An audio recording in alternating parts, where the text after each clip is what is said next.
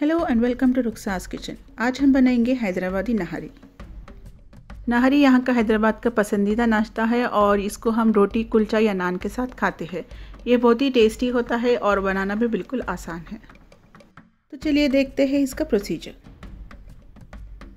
तो इसके लिए मैंने यहाँ पर लिया है चार भुने हुए पाए और आधा किलो मुंडी या सरी का गोश्त ज़बान के साथ। इसको हम अच्छे से धो लेंगे, फिर इसको एक कुकर में डाल देंगे। फिर इसमें डालेंगे नमक हम स्वाद अनुसार यानी ये तकरीबन डेढ़ टी स्पून के बराबर नमक है।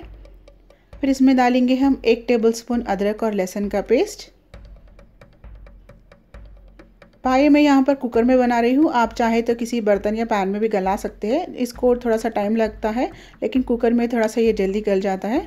फिर इसमें डालेंगे हम एक लीटर पानी और इसको पकने के लिए चूल्हे पर रख देंगे।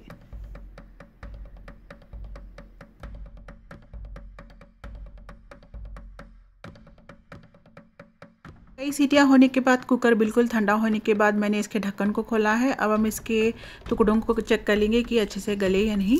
तो इस तरह से हाथ से तोड़ के देख लेंगे। तो ये आसानी से टूट रहे हैं तो ये अच्छे से गल गए हैं। अब हम इसकी बघार की तैयारी करते हैं।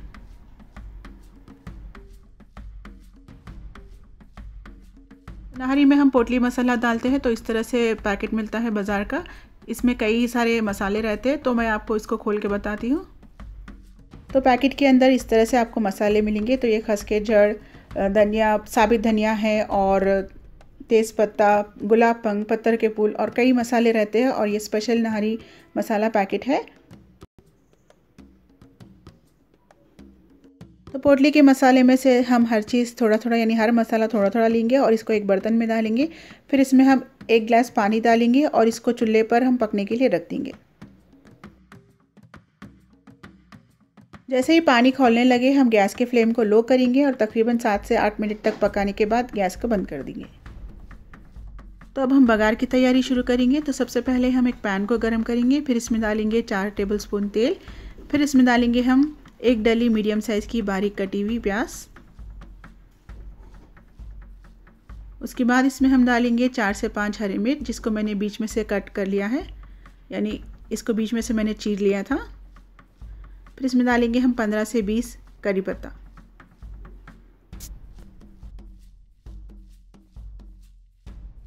प्याज को हमें गोल्डन ब्राउन होने तक फ्राई कर लेंगे और जब ये गोल्डन ब्राउन हो जाए तब हम इसमें एक टीस्पून अदरक और लहसुन का पेस्ट डाल देंगे।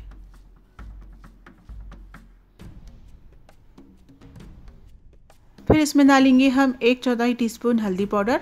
गैस की फ्लेम को हमें लो रखना है यहाँ पर। फिर इसमें डालेंगे एक टीस्पून भरकर लाल मिर्च पाउडर। आप मिर्ची अपने टेस्ट के हिसाब से कम या ज़्यादा कर सकते हैं। फिर इसमें डालेंगे हम पुदीने के पत्ते, दो टेबल स्पून।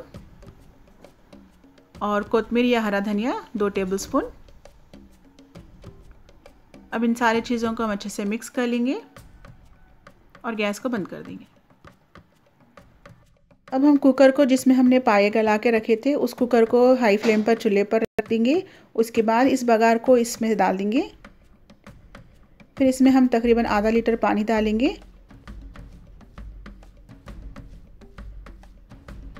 और जो हमने पोटली मसाला पका के रख लिया था, उसका सिर्फ़ हमें इसमें पानी डालना है। तो इससे इसकी खुशबू अच्छे से इसमें छुट जाएगी। नहारी को हम थिक करने के लिए थोड़ा सा आटा ऐड करेंगे। तो यहाँ पर मैंने एक टेबल स्पून जवार का आटा लिया है। अगर आपके पास जवारी का आटा नहीं है तो आप गेहूँ का आटा भी डाल सकते हैं। इसमें थोड़ा थोड़ा पानी ऐड करते हुए हमें इसको थिक पेस्ट में बना लेंगे। जब आटा अच्छे से थिक पेस्ट में बन जाए, तब हम इसमें थोड़ा सा पानी ऐड कर लेंगे। उसके बाद इस पेस्ट को हम नहरी में ऐड कर लेंगे। अब इसको अच्छे से मिक्स कर लेंगे। उसके बाद गैस के फ्लेम को लो करेंगे और 10 मिनट तक इसको ढक्कन लगाकर पका लेंगे। तो 10 मिनट हो चुके हैं, तेल भी ऊपर सरफेस पे आ गया है। अब हम गैस के फ्लेम को बंद कर लेंगे।